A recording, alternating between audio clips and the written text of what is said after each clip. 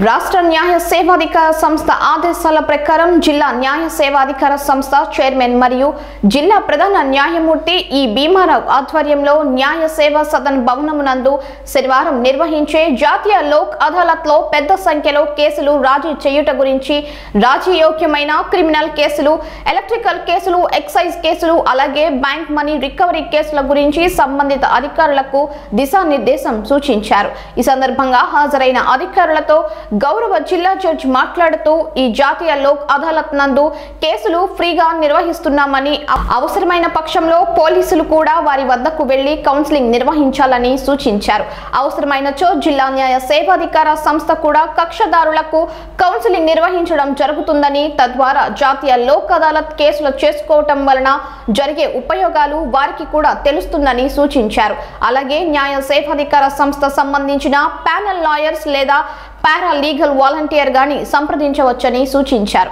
ఈ అదాలత్ నందు రాజీయోగ్యమైన అన్ని క్రిమినల్ కేసులు సివిల్ కేసులు చెక్ బౌన్స్ కేసుల్లో కుటుంబ తగాదాల కేసులు వాహన ప్రమాదం కేసులు సూచించారు. ఈ సమావేశంకు జిల్లా మొదటి అదనపు జడ్జి టి మల్లికార్జున జిల్లా additional SP A V Subbarao Eluru bar association vice president Subbarao న్యాయ సేవాధికార సంస్థ కార్యదర్శి బాలకృష్ణయ్య మరియు పోలీసు ఉన్నతాధికారులు ఎలక్ట్రిసిటీ అధికారులు బ్యాంక్ అధికారులు ఎక్సైజ్ డిపార్ట్మెంట్ వారు పాల్గొన్నారు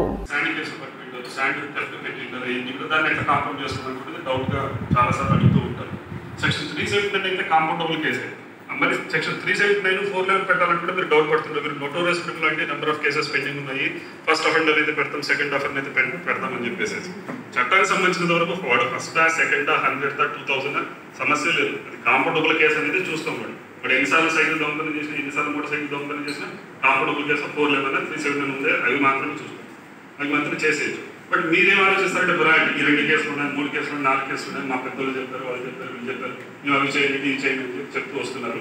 బట్ అవన్నీ కూడా పక్కన పెట్టేసేసి అవన్నీ కూడా కాంపౌండ్ చేయమని మేము రిక్వెస్ట్ చేస్తాం. మేము అడగడం వచ్చేసి కాంపౌండ్ చేయమని చెప్తాం. ఇంకా మీరు చేస్తామో చేయము చేయాలన్నా చేయకూడదు అన్నట్టు మీ ఛాయిస్ మరి పెట్టాలన్నా కాంపౌండ్ చేయించా కాంపౌండ్ చేయమని మేము మీకే వదిలేస్తున్నాం. బట్ మేము అడిగేది మాత్రం మీరు డిమాండ్ చేసేది రిక్వెస్ట్ చేసేది అన్ని కూడా పెట్టండి కాంపౌండ్ చేసేయండి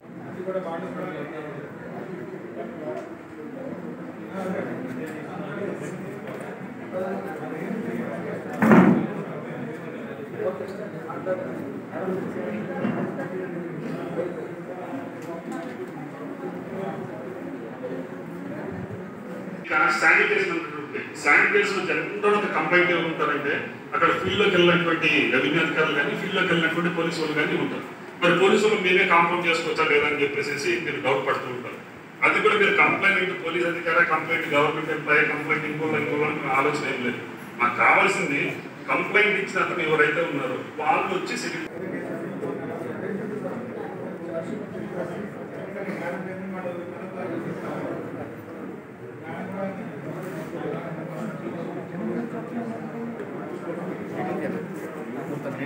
తీయాలి పేపర్లే కదా. సిటీ కేబుల్ వస్తా గ్యారంటీ.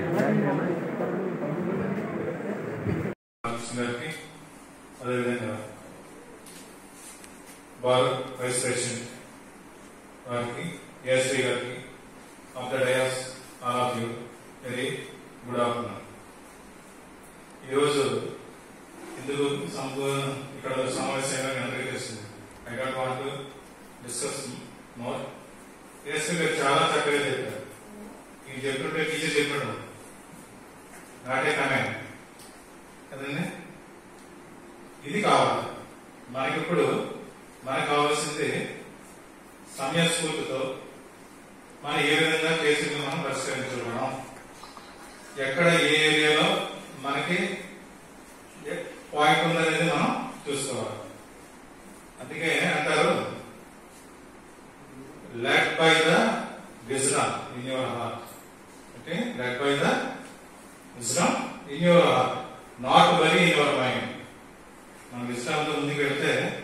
అన్ని కూడా సక్సెస్ అవుతాం మనకే చట్టాలు ఏం చెప్తున్నాయో మనకే తెలియదు సామాన్య వాళ్ళకి ఏం చెప్తుంది ఇప్పుడు మనం ఒక వ్యక్తిని అరెస్ట్ చేసి తైలాండ్ అయినది కన్విక్ట్ చేస్తాం is now is under jail ఇప్పుడు మనకి రెండు పదాలు కూడా తెలుస్తుంది. ఒకటి పనిలో రెండోది పేరు రెండు పదాలు. వాట్ ఈస్ డిఫరెన్స్ బిట్వీన్ పేరు అండ్ పర్లో కెన్ యూ అంటే ఇదే మనం ఆలోచిస్తున్నాం. వాట్ ఈస్ డిఫరెన్స్ బిట్వీన్ రెండాటికి బయట పోవాలి కదండి?